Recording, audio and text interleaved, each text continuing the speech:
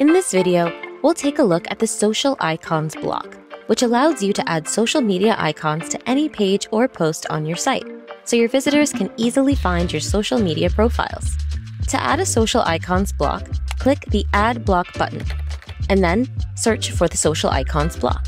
Or type a forward slash on a new line, followed by the word social. Then press enter to add the social icons block. Next, click the plus button to add your first icon. You'll see a few icons to help you get started, but there are dozens of icons available, representing just about every major service. You can select the one you want from the list, or search for a specific icon, like Facebook.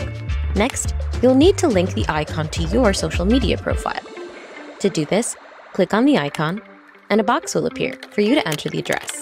Type or paste the link to your social media profile, and click the arrow icon to apply it. To add additional icons, first, click to select the Social Icons block again.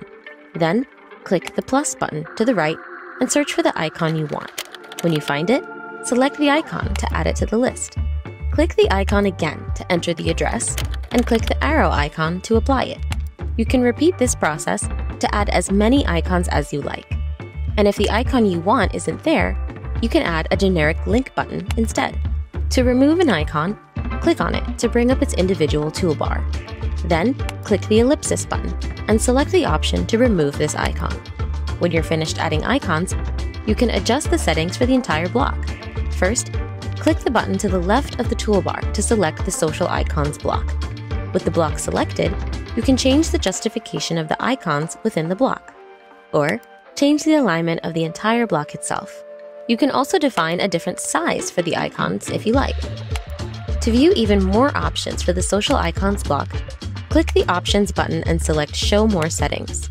Here, you can choose from three different styles for your icons default, logos only, or pill shape. In the layout options, you can change the justification of the icons and also choose between horizontal or vertical orientation.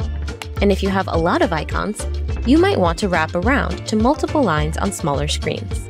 In Link Settings, you can also choose to open the links in a new tab when your visitors click an icon, and you can show the name or label of each icon. If you want, you can also modify the colors used in the icons themselves, or the background color, which will override the default colors used for each icon. And finally, you can change the spacing between the icons by entering a specific number of pixels here.